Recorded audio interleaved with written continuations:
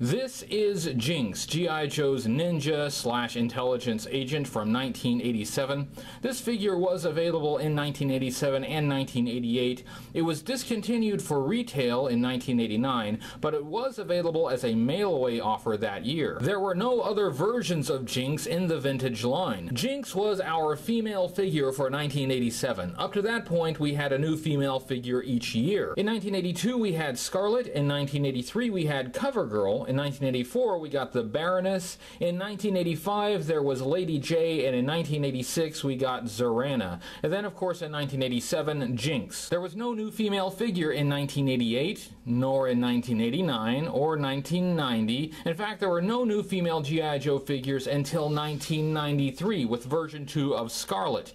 And no, I am not counting the Street Fighter series, sorry. That is expected from a toy line marketed toward boys, but the loss of women characters causes the line to lose a dimension. Action figures of women didn't sell as well as figures of men, but in the early years, Hasbro would still give us one woman figure out of 15 to 20 men. Sure, it was tokenism, but without the one figure, you don't even have the token. A Jinx is a person who brings bad luck. In the 1987 G.I. Joe animated movie, she was referred referred to as being unlucky or bringing bad luck, so that fits her name. She is a ninja, and she is in the direct lineage of another G.I. Joe related ninja, Storm Shadow. Storm Shadow started out as a villain, a Cobra ninja, in 1984. In 1988, a second version of Storm Shadow was released, and by then he had switched sides and was working with G.I. Joe. Storm Shadow's switch to the good side was engineered by Larry Hama, the primary writer of the G.I. Joe comic comic book and the file cards for the figures,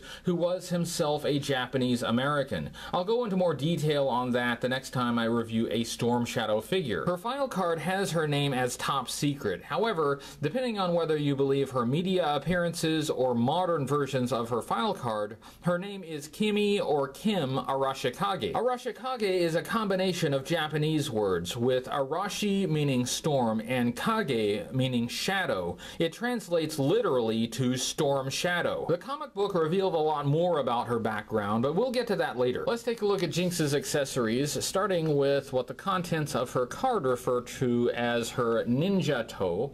There are two of them in silver plastic. Ninja-to is a ninja sword. These swords have a slightly curved blade, and Ninja-to were usually straight. Uh, the Ninja-to also tended to have square guards. The guards on these swords are rounded at the edges. The size is right though. They tended to be shorter than the wakizashi, the long samurai sword we often see movie ninjas carrying. The ninja-to is not a traditional weapon, it is a 20th century invention. Both of these swords can slot into her backpack. There are two slots, one for each, and they both fit in pretty well. These swords should not be confused with Quick Kick's sword. They are the same color, but his sword is longer and has less detail on the handle wrapping. Let's move on to her next accessory. We have what the contents of the card refer to as a naginata. It is in silver plastic. Uh, it is a staff with jagged, multi-pointed blades on each end, uh, and there are two grips on the staff. They're almost right. A naginata is a Japanese staff weapon with a blade on the end, usually on one end. If any examples of a double-bladed naginata exist, I haven't found it. This weapon is designed like a pugil stick, which is a padded stick used to train soldiers in rifle and bayonet combat. However, instead of padding, this stick has blades at both ends. Jinx is seen training with a pugil stick in the 1987 animated movie. The problem with having blades on both ends is, to strike the enemy with one end leaves the other blade pointed at you. There's a high potential for self-injury. Her final accessory is her backpack, and the backpack is black. It looks like a parcel tied together with rope. It has four four ninja stars sculpted on it, but the most important feature on this backpack is the storage for the swords. Storage for weapons is a bonus, and we didn't get enough of it on vintage figures. I want a figure to be able to carry all of its accessories all of the time. The only downside to this backpack is there is no place to put the Naginata staff when the swords are in use. You can wedge the Naginata between the backpack and the figure, and that kind of works, but it's not designed for that purpose. It doesn't stay well, and it'll fall out. What would have been better is a clip on the backpack, like the one on Alpine's, that holds his pickaxe. Let's take a look at the articulation for Jinx. She had the articulation that was standard for G.I. Joe figures from 1987, meaning her neck was on a ball joint so she could turn her head from side to side and look up and down.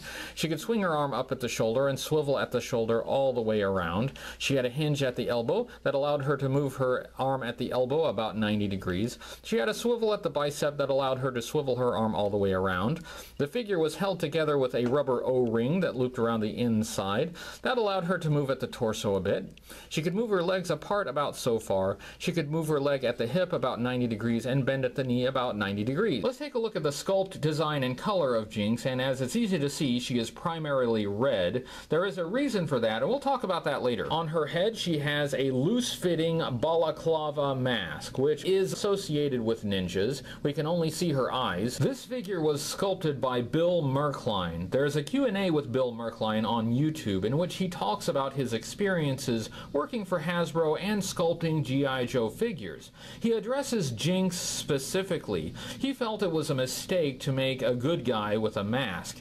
In his mind, the villains wear masks and the heroes show their faces. I tend to agree, but there can be some exceptions. In the case of Jinx, the mask is a little frustrating. In her media appearances, she usually did not wear the mask. Kids could not reproduce those scenes or follow those play patterns with this figure. On her chest, she has a loose-fitting red top with a black collar, and she has a black dragon tampo on the left side of her chest. On her arms, she has loose-fitting red sleeves with black cuffs, and on her hands, she has fingernail polish. To my knowledge, this is the only G.I. Joe figure with painted fingernails. It looks kind of funny on the figure because the fingers aren't well differentiated. She has the usual C-shaped hands like all G.I. Joe figures so she could hold her accessories, uh, but the fingernail polish looks a little bit like red dots painted on the ends of oven mitts. We didn't have any other figures with fingernail polish, but we did have other women G.I. Joe figures with lipstick. Efforts were made to make the figures look more feminine, and they needed the help because the sculpting wasn't always up to par. For Jinx, they avoided the problem of having a female figure with a masculine face sculpt by putting her behind a mask. On her waist, she has a black belt tied in the front, and she has a smaller waist than what was given to male G.I. Joe figures. This was another effort to give the figure a more feminine shape. I don't think it worked well, though. The problem is the articulation breaks up the sculpting too much, so it's a trade-off. Articulation versus a shapely female figure. With this figure type, you really just couldn't have both. On her waist, we have loose-fitting red trousers with black cuffs at the ankles and red shoes. At least she is wearing shoes, unlike Quick Kick, who chose to go barefoot. This also means she will get service at the 7-Eleven, whereas Quick Kick will not. Why is Jinx wearing red? Red has been associated with the Arashikage ninja clan since its introduction in the G.I. Joe comic book. When Storm Shadow first appeared in issue number 21, the famous silent issue, he was accompanied by ninjas in red. They continued to appear in the comic book series and were even included in the 2013 live-action movie G.I. Joe Retaliation. Let's take a look at Jinx's file card. This file card was printed on the back of the card on which the figure was packaged. This file card is not perfect. It has a hole punched in it and looks like somebody cut a notch. Uh, to be honest, I forgot this file card was cut up like this and I did not have time to get a better one before this review. But my general rule on file cards is I just want them to be readable and this one is, so it's good enough. It has her faction as G.I. Joe and it has a portrait of Jinx here. It has her code name as Jinx, and she is a ninja slash intelligence. So she is not just a ninja, she is also a spy, and I appreciate that they gave her an actual function on the team. Her file name is Top Secret. We have already talked about her real name. Her primary military specialty is intelligence. Her secondary military specialty is finance clerk. These file cards sometimes gave the characters mundane secondary specialties like finance clerk. In this case, she has the same secondary secondary specialty as Alpine, who was also a finance clerk. Her birthplace is Los Angeles, California, the same birthplace as Quick Kick. I was born in East LA, man. Her pay grade is E5, so she is a sergeant. This paragraph says Jinx studied and competed in three forms of martial arts from the time she was seven until she graduated from Bryn Mawr. She attended Bryn Mawr College, which is a prestigious women's college in Pennsylvania. Lady Jaye also attended Bryn Mawr. I get the impression that Lady Jaye is older than Jinx, so they were probably not there at the same time. Upon arriving in Japan, for vacation, she discovered that her family had been ninjas for generations, and she was officially initiated into the clan. Jinx was recruited for the Joe team by Snake Eyes. There is no mention of the Arashikage clan by name. It does mention Snake Eyes, who was also a member of the Arashikage clan, although he was not a blood relation. Her ninja affiliation almost seems coincidental. She discovered it on vacation in Japan. In the comic book, it was central central to her character. Jinx is ethnically Japanese and nationally American. This is another interesting parallel with Quick Kick, who was half Japanese and half Korean, but also an American from Los Angeles. This bottom paragraph has a quote. It says, Don't underestimate Jinx. She has been to the secret mountain and studied the seven silent forms with the Blind Master.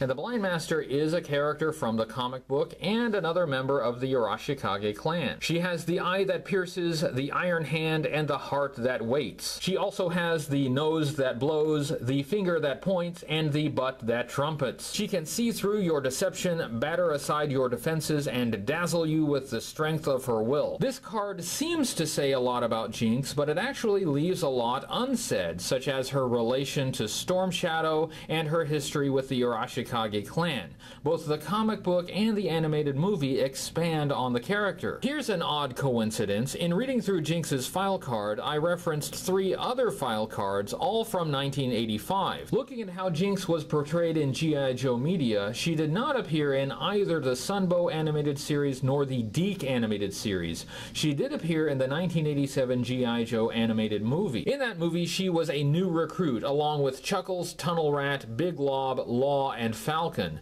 Unlike most of those other guys, she was a main character in the movie. She was the love interest for the main protagonist Falcon. She had three important scenes in that movie. First, she trains with Beachhead, where it is revealed that she fights better when blindfolded. Second, she has a scene where Falcon slaps her on the ass, which is apparently something she was used to because she didn't immediately spin around and ninja punch his testicles. In the final battle against Cobra-La, she uses her blind fighting technique to defeat Pythona. You probably already know that I dislike that movie, but Jinx was one of the better parts of it. She also mentions the Blind Master, who appeared in the comic book series.